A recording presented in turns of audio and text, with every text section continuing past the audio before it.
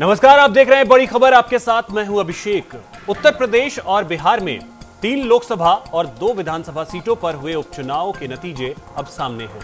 उत्तर प्रदेश के फूलपुर में समाजवादी पार्टी और बहुजन समाज पार्टी के गठबंधन ने बीजेपी को हरा दिया है।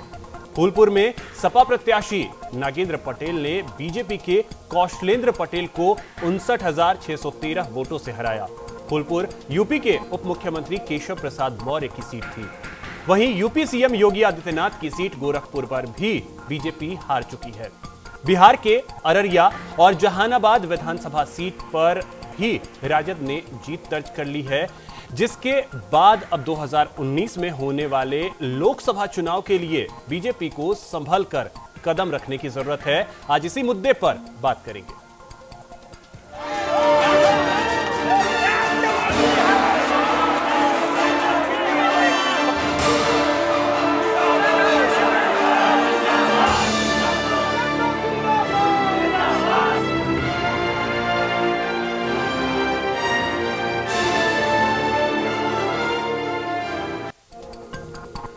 यूपी और बिहार में हुए उपचुनाव के नतीजे आने के बाद साल 2019 में होने वाले लोकसभा चुनाव की बिसात बिक चुकी है। यूपी में गोरखपुर और फूलपुर लोकसभा सीटों, जबकि बिहार के अररिया लोकसभा सीट और दो विधानसभा सीटों का रिज़ल्ट आ चुका है। देखिए रिपोर्ट यूपी में अपनी पहली बड़ी परीक्षा में योगी आदित्यनाथ फेल हो गए हैं। 2014 में नरेंद्र मोदी के नेतृत्व में बीजेपी गठबंधन को यूपी की 80 सीटों में से तिहत्तर सीटें हासिल हुई थी।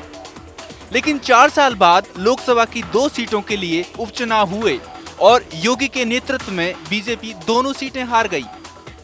यूपी के सीएम योगी आदित्यनाथ और बिहार के सीएम नीतीश की अग्नि परीक्षा का रिज़ल्ट आ चुका है, जहाँ यूपी के गोरखपुर और फूलपुर लोकसभा सीटों पर सपा की जीत हुई है। वहीं बिहार के भभुआ विधानसभा सीट से बीजेपी के दिवंगत विधायक आनंद भूषण, पांडे की पत्नी और बीजेपी उम्मीदवार रिकी रानी विजयी घोषित हुई हैं।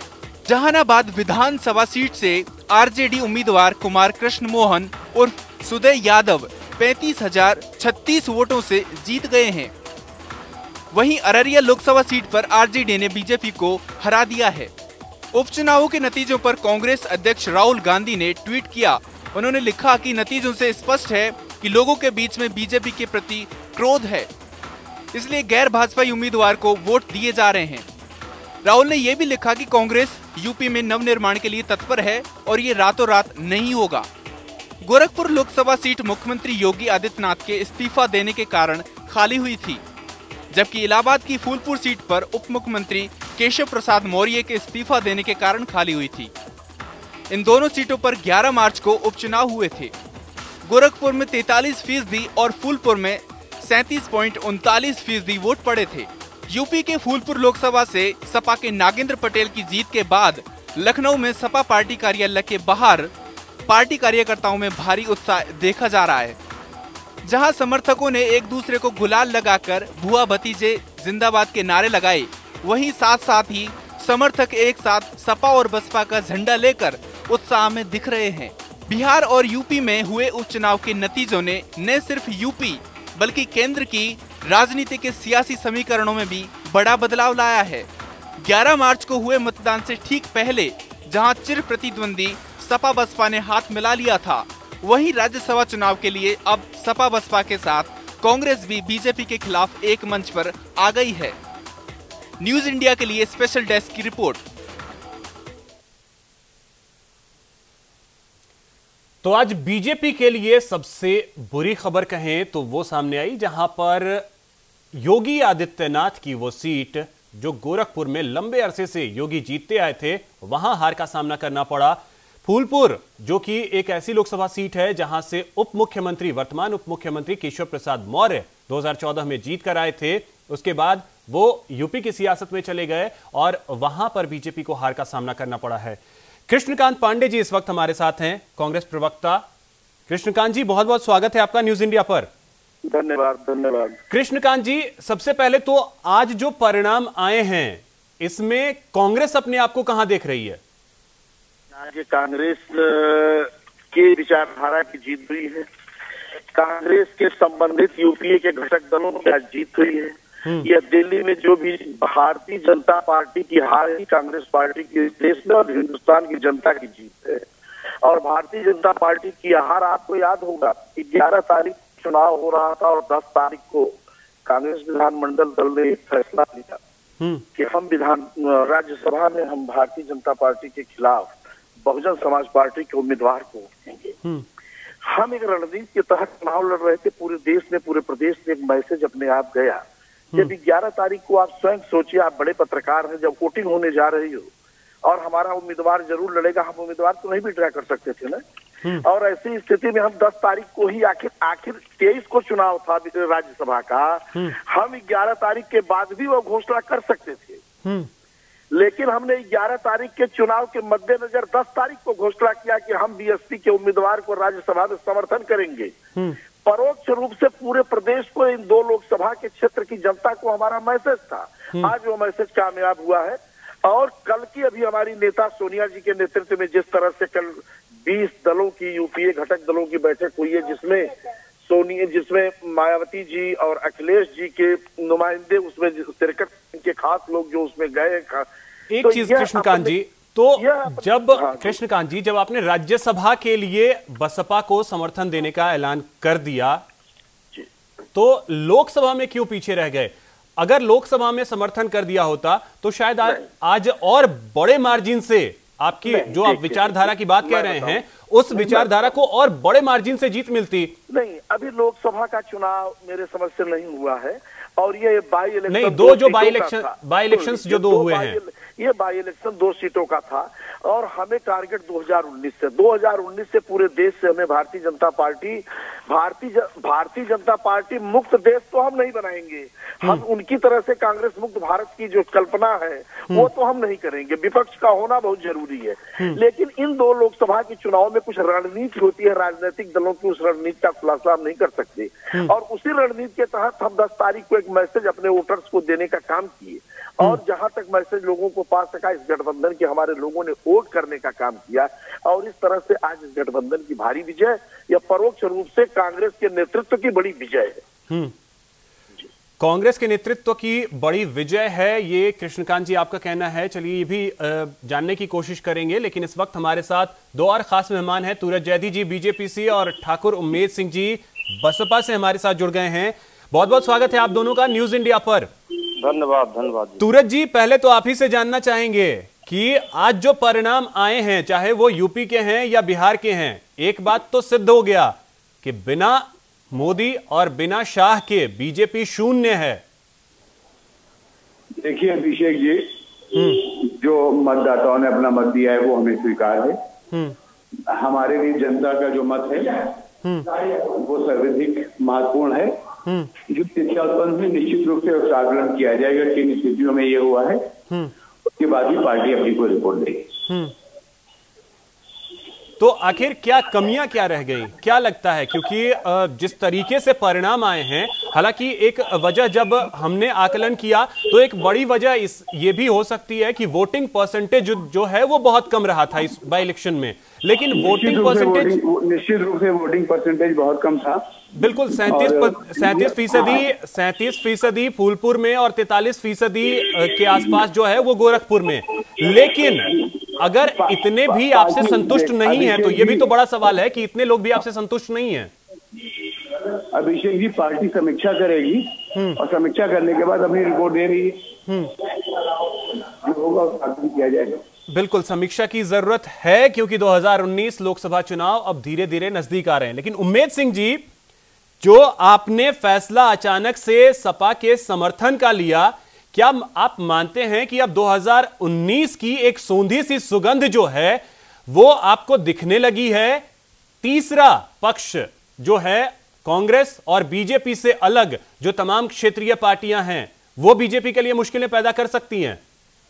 नहीं नहीं, देखिए भाई ये ये ये चीज़ कहना कि कुछ दिखने लगा है, ये बिल्कुल नाजायज है, क्योंकि आप जनता ने ज़बरदस्त इनको ज़बरदस्त दिखाना शुरू कर दिया था आईना और स्टार्ट कर दिया था जो जो माननीय प्रधानमंत्री नरेंद्र मोदी जी पूरे दुनिया में गुजरात का आईना दिखाते थे गुजरात मॉडल दिखाते थे तो ये देश की जनता ने प्रदेश की जनता ने गुजरात में ही उनको वहाँ बाग बाहर कर दिया और वो अपनी विधानसभा सीट हार गए।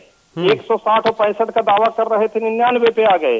अगर एक बयान नहीं हो जाता कांग्रेस का तो बड़ी शंकर अय्यर जी का तो एक गलती से नहीं पचास के नीचे रहते। तो आज कांग्रेस साफ़ कर रहे थे देश से आज कांग्रेस ही हर जगह पे जीती है। वो चाहे मध्य मध्य प्रदेश हो चाहे जो है राजस्थान हो आप सब जगह ले लीजिए। दूसरा चीज़ यहाँ से तो बहुत बड़ा जो है जनता ने वो दिया मान मन बना चुका था जो आज सत्ताईस साल से कब्जा था इनका और सत्ताईस साल के कब्जे से बाहर कर दिया। इनकी सरकार ही आने पे इनके मुख्यमंत्री को यहाँ उत्तर प्रदेश के आज डिप्टी सीएम को भी बाहर कर दिया। तो जनता तो ये तो माइंड मेकअप कर लिया जबकि विपक्ष के कोई लोग वहाँ पे साझा कोई प्रचार नहीं किया था कोई मंच नहीं साझा किए थे। केवल केवल केवल आ, केवल जनता से अपील किए थे। अभी तो जनता इतनी नाराज़ पड़ी है कि जिस दिन मौका मिलेगा इनको पाँच सीट पे पहुँचा देगी। ये देश तो वही वही वही उम्मीद सिंह जी वही सवाल है कि कांग्रेस जो है वो आपका समर्थन इस चुनाव में नहीं कर रही थी। उसने अपने कैंडिडेट उतारे थे। तो क्या अब ये संभावनाएँ दिखती हैं कि तीसरा फ्रंट जो है जिसको लेकर के अक्सर चर्चाएँ होती रही हैं वो तीसरे फ्रंट की सोंधी सी खुशबू सोंधी सी सुगंध कहीं सामने तो नहीं आ रही अब? नहीं नहीं निश्चित है वो कहीं सुगंध की बात नहीं है। पूरा पूरा देश महक रहा है। हम्म। वो पूरा देश जिस तरह से ये लोग फैला दिए गंध फैला दिए झूठ का पुलिंदा फैला दिए पूरी दुनिया में कभी हमारे प्रधानमंत्री हैं सम्मान करता हूँ लेकिन संकोच लगता है कहने में कि पूरी दुनिया में कभी किसी प्रधानमंत्री को आप नहीं सुने होंगे जिसको बच्चा बच्चा फेंको जुमलेबाज और झूठा और इस तरह की गलत बयानबाजी कहने लगे ये कभी नहीं हुआ है हम्म। आज आप देखिए ये क्या हो गया चार साल में हम्म। अब आप आप कांग्रेस ने भी पचास साल राज किया है हम्म। आप वहाँ कभी देख लीजिए उसको भी क्यों जनता बार बार उनको चुनती रही देखिए ये सब चीज़ें आदमी को घमंड नहीं करना चाहिए राजनीति है पाँच साल से चुनाव होता है बदलते हैं आते हैं जाते हैं। लेकिन ऐसा नहीं करना चाहिए जिस तरह के ये लोग बोलने लगे। हम्म। आज इनके पास है कौन? सपा बसपा कांग्रेस के ही लोग तो सब लोग इनके पास आज बैठे हैं। हम्म। कौन आज आज जो है आज मान लिया अटल जी मान लिया आडवाणी जी या मान लिया मुरली मनोहर जोशी जी या या इनके पुराने जसवंत सिंह या जसवंत सिन्हा या पुराने कोई भी नेता है साथ में। है कोई? तो आप देखिए किस तरह की बातें ये लोग करते हैं। तो जनता बहुत जल्दी समझ में आता है जनता बहुत बहुत ही भावुक भी है बहुत जल्दी सम्मान भी देती है लेकिन झूठ फरेब और जुमलेबाजी सुनेगी वो नीचे भी नकार भी देती है। लेकिन लोकतंत्र में एक चीज़ शायद सभी भूल जाते हैं कि जनता से ऊपर कोई नहीं है। आ, एक और चीज़ शहजाद जी इस वक्त हमारे साथ जुड़ गए हैं। शहजाद जी बहुत बहुत स्वागत है आपका न्यूज़ इंडिया पर। नमस्कार अभिषेक जी आपको भी शहजाद जी अब बधाई दें और मिठाई का इंतज़ार। बधाई आपको भी बहुत बहुत बहुत बधाई। आप देखिए कि कितना अच्छा रिज़ल्ट आया है। हम्म। भारतीय जनता पार्टी को गोरखपुर में भी और फूलपुर में भी दोनों जगह जनता ने नकार दिया है। तो कि बिहार को क्यों छोड़ दे रहे हैं? जी? बिहार को क्यों छोड़ दे रहे हैं? जी जी बिल्कुल। बिहार को भी बिहार में भी आप देखिए तो दोनों जगह पे लेकिन हम यहाँ पे इसलिए उत्तर प्रदेश की बात कर रहे हैं कि ये कोई साधारण चुनाव नहीं था। एक जगह पे माननीय मुख्यमंत्री जी की सीट पे चुनाव हो रहा था और दूसरे पूर्व प्रदेश अध्यक्ष उप मुख्यमंत्री का चुनाव था जो ये इन लोग की भाषा चुनाव से पहले इलेक्शन तक अति आत्मविश्वास और अति उत्साह में थी हम्म। और हम कहेंगे अति घमंड में ये लोग चूर थे हम्म। और इस तरीके की भाषा का इस्तेमाल कर रहे थे कि जिसका जनता ने जो है वो करारा जवाब इनको दे दिया है एक साल में उत्तर प्रदेश के अंदर कोई विकास नहीं इन्होंने किया। किसी टाइप का विकास नहीं। जो समाजवादी पार्टी के काम थे उन्हीं के ये रिबिन काटते हुए साल भर गुजार चुके हैं हम्म।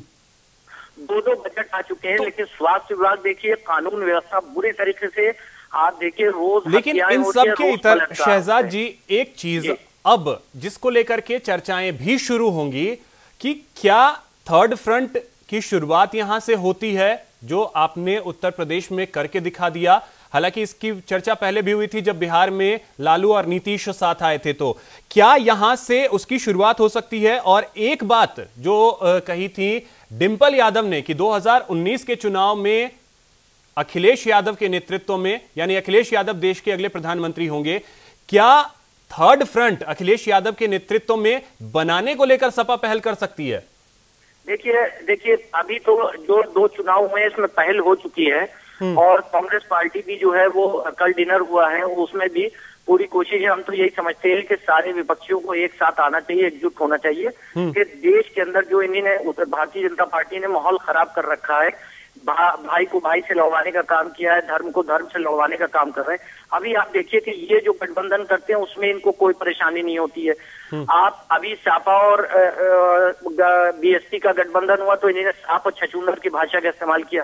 जबकि आप देखिए कि हिंदू धर्म में सांप को नाग देवता के नाम से जाना जाता है और उनका सम्मान होता है उनको दूध पिलाया जाता है नाग पंचमी होती है। इन्हीं ने नाग देवता का जिस तरीके से अपमान किया है उसमें नाग देवता जो है उन्हीं ने इनको जो है पूरी तरीके से नकार दिया। देखिए आप देखिए कि क्या हाल किया है। आप कश्मीर के अंदर देखिए कि पीडीपी जिसके साथ ये गठबंधन किए कश्मीर में सरकार बना रहे उन्हीं पीडीपी के कार्यकर्ता जो है वो हमारी सेना के ऊपर जो है पथराव करते हैं वो करते हैं उसके बाद उनके केस वापस लिए जा रहे हैं। तो इनको हमारे हमारे गठबंधन से परेशानी थी और जिसका नतीजा आप सामने हैगा कि ये अति उत्साह में जो है ये पूरी तरीके से एकदम जनता ने इनको नकार के और बाहर कर दिया। बिल्कुल। अभी आ, अभी ए, अभी जो है वो लेकिन इन सब के बीच इन सब के बीच परेशानियाँ जो हैं कांग्रेस के लिए कम होती नहीं दिखी हैं। कृष्णकांत जी परेशानियाँ कांग्रेस के लिए कम होती नहीं दिखी हैं। क्योंकि इन जो पाँच सीटों के आज परिणाम आए हैं। उनमें से एक सीट पर, जो कि बिहार के भभुआ की सीट है, जहाँ पर आपके कैंडिडेट, यानी कांग्रेस के कैंडिडेट थे, वहाँ पे आपको हार का सामना करना पड़ा है। यानी कि अगर हम बात करें कांग्रेस की तो इस पूरे चुनाव में कांग्रेस के लिए कोई ज़्यादा अच्छी खबर नहीं है।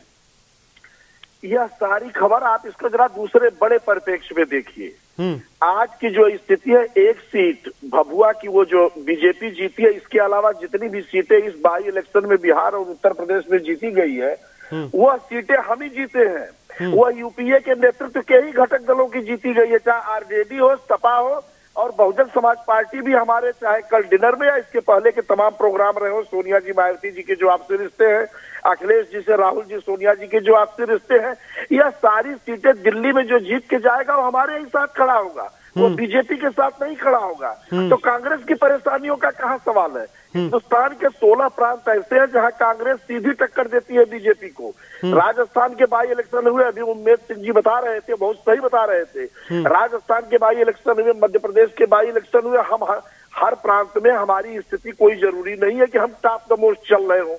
टॉप होते तो हम दिल्ली की सरकार में होते। उत्तर प्रदेश में समाजवादी पार्टी और बहुजन बहुजन समाज पार्टी की स्थिति हमसे बहुत बेहतर है। हम्म। तो यहाँ लेकिन वो हमारे मित्र हैं हमारे समान विचारधारा के वो दल है।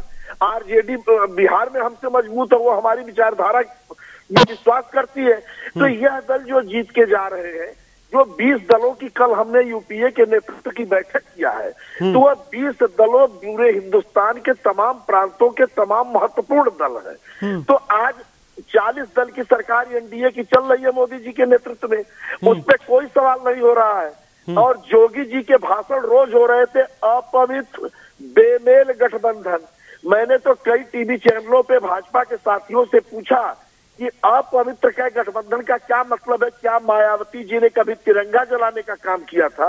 हम्म। क्या अखिलेश जी ने कभी संविधान फूकने का काम किया था? क्या देशद्रोहियों के साथ गठबंधन क्या कांग्रेस और अखिलेश जी और मायावती जी ने क्या कभी किया था? हम्म। मैं नहीं समझ पा रहा हूँ यह जो शब्दों के जादूगर हैं कि बेमेल ये ये सारी चीज़ें सही है ये सारी हाँ, चीज़ें सही हैं। लेकिन हाँ, एक चीज़ उम्मेद सिंह जी इसके बारे में आपसे जरा सा जानना चाहेंगे। आपने अचानक से सपा के समर्थन का ऐलान कर दिया। कांग्रेस ने अचानक से आपके राज्यसभा कैंडिडेट को समर्थन का ऐलान कर दिया। आज जो परिणाम आए हैं, उसमें एक और चीज़ ध्यान देने की ज़रूरत है। वोटिंग परसेंटेज बहुत कम थे। फूलपुर में महज सैंतीस फ़ीसदी, गोरखपुर में महज तैतालीस फ़ीसदी। क्या ये चीज़ें भी आपको जहन में रखने की आवश्यकता नहीं है जीत बिल्कुल मिली है और जीत जीत होती है चाहे एक वोट से ही क्यों ना मिले लेकिन वोट परसेंटेज जो है वो कहीं ना कहीं परेशानी का सबब नहीं लगता कि हैं दूसरी तरफ़ से देखिए ना आप दूसरी तरफ़ ध्यान दीजिए हम्म। अभी अभी अभी जिस तरह से परसेंटेज गिनाते हैं जिस तरह से कहते हैं कि सरकार बना ली सरकार तो गोवा में भी बना ली है जहाँ नकार दिया था जनता ने हम्म। सरकार मणिपुर में बना लिया जहाँ नकार दिया जनता ने। सरकार तो ये जो है यहाँ पे गुजरात में बना लिया जहाँ सात सीट पे इनको एक सौ साठ पैंसठ से नीचे आ गए इनकी आधी आधे वोट। तो ये देखिए ये एक अलग चीज़ है। आज यहाँ पे इनका ये देखिए कि ये कम से कम तीन ढाई तीन लाख वोटों से जीतते थे चौवन पचपन परसेंट। भाजपा अकेले लेती थी सत्ताईस साल से। और उसके बाद आज ये कहाँ किस किनारे लग गए आज उसका अंदाज़ा लगा लीजिए तो परसेंटेज आपको पता चल जाएगा। आप आज गोवा फूलपुर को ले लीजिए ये कितने तीन पौने तीन लाख वोट से जीते थे चार साल पहले। और आज आज इनकी स्थिति क्या हो गई तो आपको तो वही बीस बीस परसेंट वोट वोट वोटिंग की अगर बीस परसेंट वोट कम होंगे तो फिर अच्छा उसके अलावा हेलो? जी जी। और उसके अलावा आप देखिए अभी अभी फूलपुर का ले लीजिए कांग्रेस का वोट और अतीक अहमद का वोट और उसके बाद अपना पक्ष का वोट। और फिर जहाँ ये सब इकट्ठे होते वहाँ दस परसेंट वोट बढ़ता है। वो भी नुकसान हुआ है अभी विपक्ष का। और अभी कोई भी कंबाइंड कोई रैली प्रदर्शन या कुछ हुआ नहीं था। आप उसको आप अंदाज़ा लगा लीजिए कि जिस दिन कांग्रेस की के माननीय राहुल गांधी जी और माननीय राष्ट्रीय अध्यक्षा बहुजन समाज पार्टी की हमारी अध्यक्षा बहन कुमारी मायावती जी और प- प- सपा के अध्यक्ष जो है श्री अखिलेश जी जिस दिन अगर ये मंच पे उतर जाएँगे उस दिन की स्थिति ये होगी कि जमानत नहीं बचा पाएगी विपक्ष। नहीं इसमें एक चीज़ तो और है शहजाद जी एक एक सवाल तो और ये ज़रूर बनता है कि ये जो उपचुनाव थे सभी पार्टियों ने अपना जो क्षेत्रीय नेतृत्व है, उस पर फोकस किया। मुख्यमंत्री वहाँ गए, बहुत सारी सभाएँ की, पंचायत स्तर तक गए। इसके अलावा उप मुख्यमंत्री थे, अपने क्षेत्र में गए, उन्होंने प्रचार किया। सपा की तरफ़ से ज़ोर लगाया गया, बसपा की तरफ़ से ज़ोर लगाया गया। लेकिन बीजेपी के पास अगर कोई चेहरा है तो वो नरेंद्र मोदी का चेहरा है। और वो चेहरा जहाँ आता है, वहाँ सभी पार्टियों के लिए खतरा पैदा हो जाता है। देखिए, आपको एक चीज़ बताऊँ कि ये दो चुनाव जो हुए हैं उत्तर प्रदेश के अंदर उसमें सात सात सौ सभाएँ जो हैं वो माननीय मुख्यमंत्री जी ने की। और उन्होंने आप देखिए कि मोदी जी के काम को गिनाया है उन्हीं ने उसके बाद भी जनता ने नकार दिया है कब तक आप जो है एक चेहरे को रखेंगे जनता पूरी तरह थक चुकी है क्योंकि चार साढ़े चार साल केंद्र सरकार के हो चुके हैं। कोई काम उनका ज़मीन पे नहीं है। अगर आप उत्तर प्रदेश की राजधानी लखनऊ के अंदर देखिए तो सांसद जो है हमारे राजनाथ सिंह जी हैं ब्रिज बनाने की बात हो रही है पुराने लखनऊ के अंदर और तीन साल से पेपरों में निकल रहा है। आज भी पेपर में आया है कि उसका बजट तैयार हो रहा है। तो ये कब पाँच साल में दो पुल लखनऊ को नहीं दे पाए हैं ये। तो अब काम की क्या बात की जाए? उसके बाद फिर उत्तर प्रदेश के अंदर जो सरकार चल रही है उसने एक साल में क्या दिया है? जनता खुद देख रही है बीआरडी हॉस्पिटल के अंदर सत्तर बच्चे मर गए और उसके कुछ ही दिनों के बाद दीपावली थी और ये दीपावली मना रहे थे। एक एक दिए की कीमत जो है वो छह छह सात सात हज़ार रुपए की थी। उससे क्या गरीब के घर जो है नहीं पल सकते थे? क्या दिया जलाना दिया क्या छोटा सा एक हल्का सा भी दिया जलाएँगे तो क्या श्री रामचंद्र जी खुश नहीं होंगे? क्या दीपावली नहीं होगी? इतना महँगा जलाना क्या उनके श्री रामचंद्र जी के आदर्शों के खिलाफ नहीं है? कि एक घर भूखा है या उसके उसके घर के अंदर एक बच्चा मर गया है उसके साथ बैठ के अगर दीपावली मनाते उसके सुख दुख को दूर करते तो जनता इनका साथ देती। अच्छा शहजाद जी शहजाद जी शहजाद जी। कहीं ऐसा तो नहीं कि एंटी रोमियो स्क्वाड रहा हो उसके अलावा कई ऐसी चीज़ें रही एनकाउंटर का मामला रहा हो कहीं ये सारी चीज़ें तो नहीं हरा गई? आप लोग आप लोग मीडिया के हैं, हम लोग से बेहतर जानते हैं। अभी कुछ दिन पहले झांसी के अंदर आप देखिए कि क्या हुआ है स्वास्थ्य विभाग के अंदर। मैं तो बराबर आपके चैनल के माध्यम से भी कहता चला आ रहा हूँ कि स्वास्थ्य विभाग में अभी पैर एक मरीज़ का कट गया उसको जो है उसके तकिया बना दिया उसको। ये किस तरीके से हो रहा है ये संभाल ही नहीं पा रहे हैं। हम तो समझते हैं कि अब इनको जो है मुख्यमंत्री जिस तरीके से अपनी सीट 25 साल पुरानी हारे हैं तो हम तो समझते हैं कि उनको तो इस्तीफा दे देना चाहिए। और दूसरा देखना चाहिए कि किस तरह कहाँ पे कमियाँ हैं कहाँ क्या है। जमीनी हकीकत कब तक ये श्री रामचंद्र जी का नाम लेके कब तक जनता को बहकाते रहेंगे कब तक हिंदुओं मुसलमानों को बांट के नफरत की शहजाद जी जनता इतनी बेवकूफ़ नहीं है ये चीज़ भी हर किसी को सोचने की ज़रूरत है कि सिर्फ़ एक चीज़ को लेकर के जनता से को भरमाने की कोशिश की जाए तो वो संभव नहीं है। फ़िलहाल बहुत बहुत शुक्रिया आप सभी का हमारे साथ जुड़ने के लिए इस चर्चा में शामिल होने के लिए। तो आज बड़ी खबर यही है कि बीजेपी को बड़ा झटका लगा है उत्तर प्रदेश में और बिहार में। कार्यक्रम में इतना ही, देखते रहे न्यूज़ इंडिया नमस्कार।